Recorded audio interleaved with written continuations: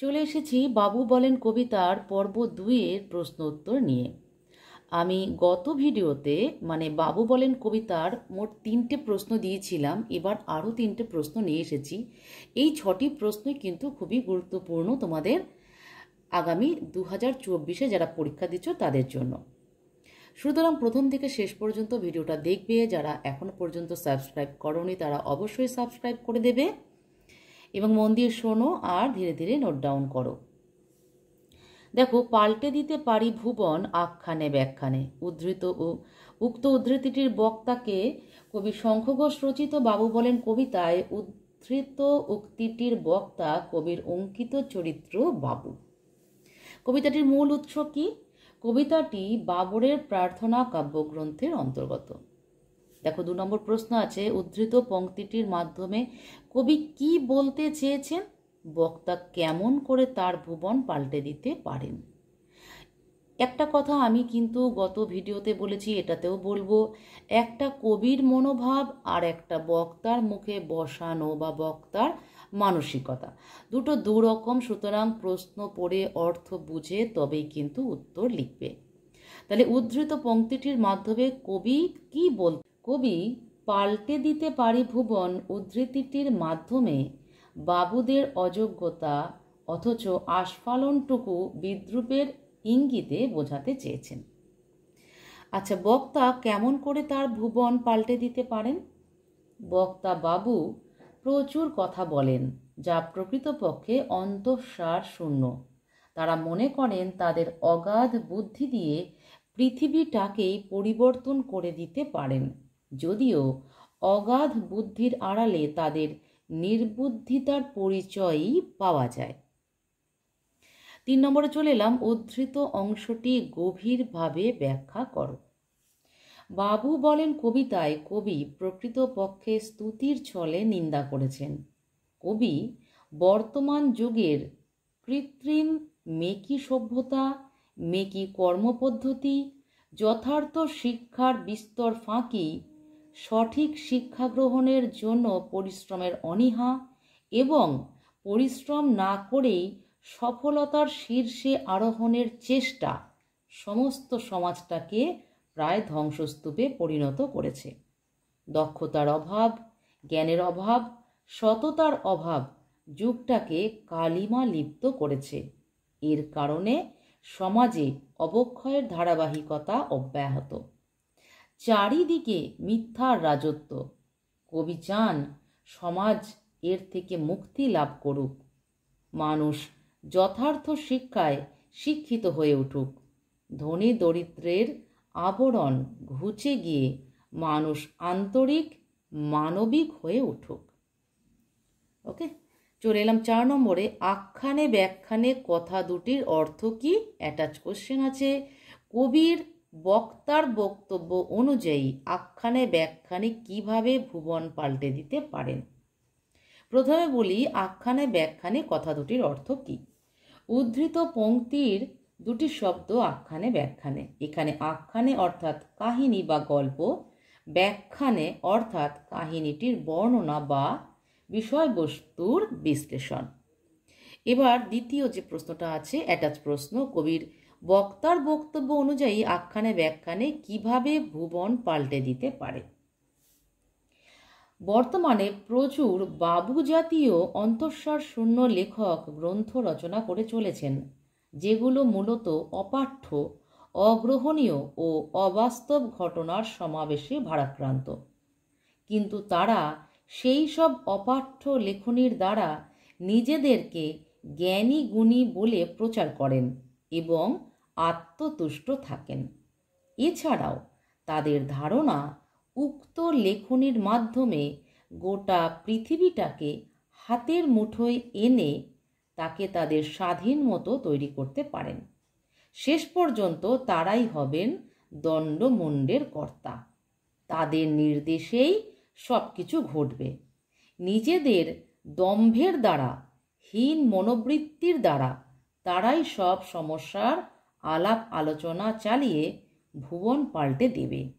সাধারণ মানুষকে তার আলোচনায় সামিল করবে না।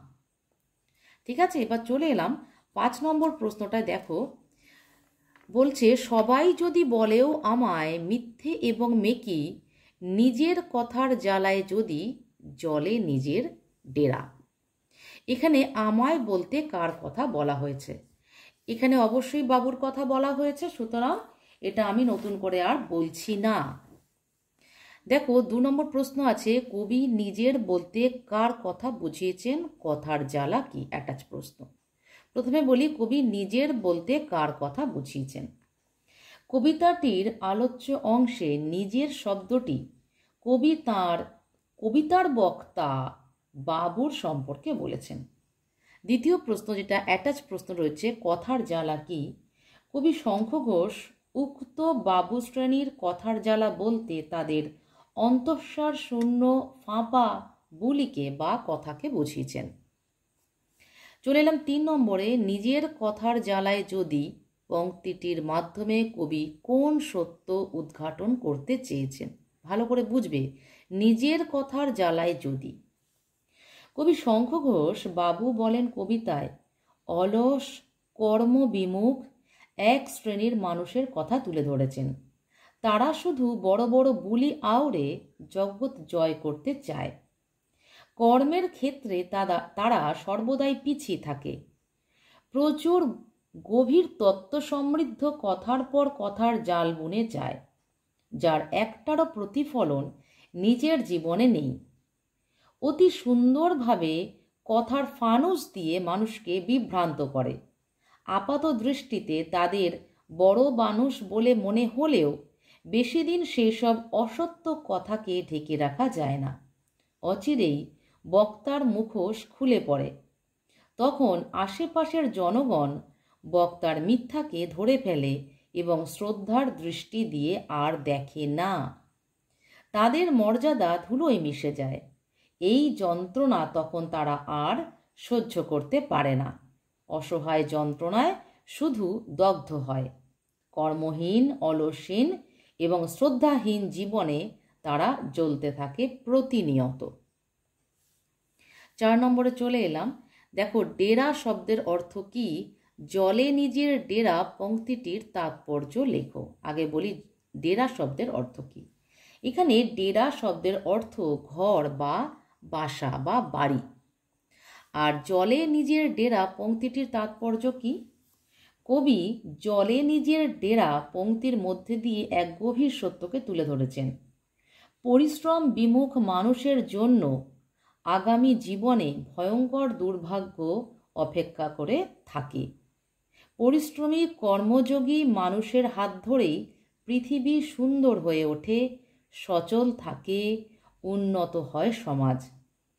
দেশের যা কিছু উন্নয়ন প্রতিটি ক্ষেত্রেই সুস্থ বুদ্ধি সম্পন্ন বিশাল ব্যক্তিত্বপূর্ণ মানুষের অবদান।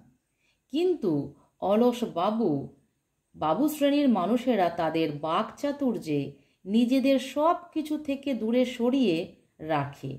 সমস্ত রকম দায়িত্ব, কর্তব্য থেকে বিরত থাকে, ফলে দ্রুত পতনের সম্মুখীন হয়। একদিন সম্পূর্ণরূপে ধ্বংস হয়। অর্থাৎ নিজেই নিজেকে ধ্বংস করে জ্বলে পুড়ে শেষ হয়ে যায়।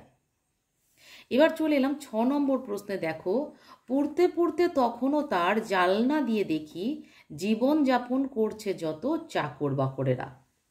প্রথম প্রশ্ন আছে দেখো, কবি শঙ্খ ঘোষ কোন যুগের কবি?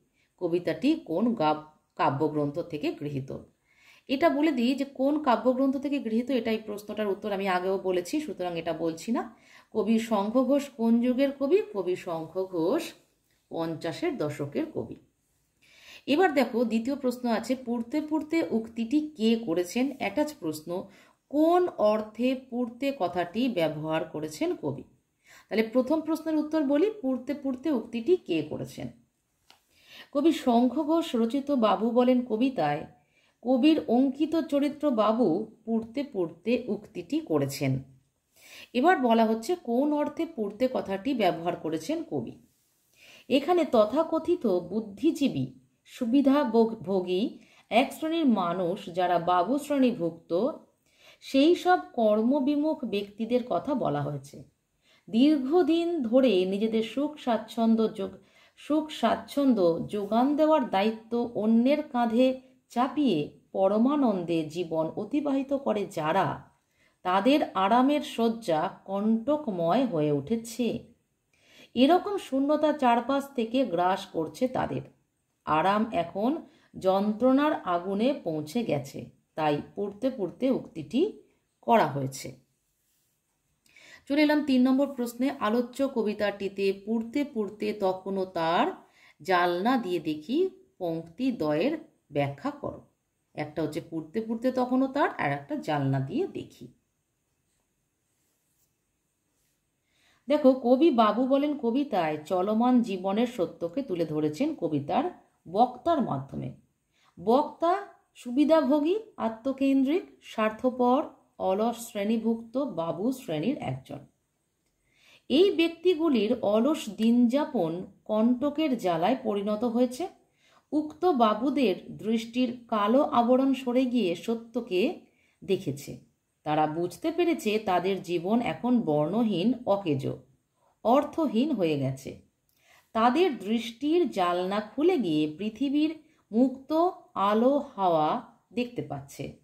নিজেদের অন্তরে ভুল পদক্ষেপের জ্বালার মধ্যে দিয়েই দেখছে বাইরের পৃথিবী ছন্দময়, কর্মব্যস্ত, চলছে আপন গতিতে।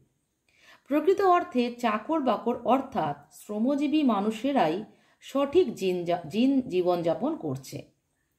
তারাই পেয়েছে প্রকৃত আনন্দ, পৃথিবীর মুক্ত আলো, হাওয়া, বাতাস। ঠিক আছে? এবার চার নম্বর, উদ্ধৃত কবিতাংশের তাৎপর্য ব্যাখ্যা করো। কবি শঙ্খ ঘোষ বাবু বলেন কবিতায়, বাবু শ্রেণীভুক্ত বক্তার অলস জীবনযাপন, অমানবিক বোধ, স্বার্থপরতা, আত্মকেন্দ্রিকতা এবং বিলাসিতার জীবনধারা।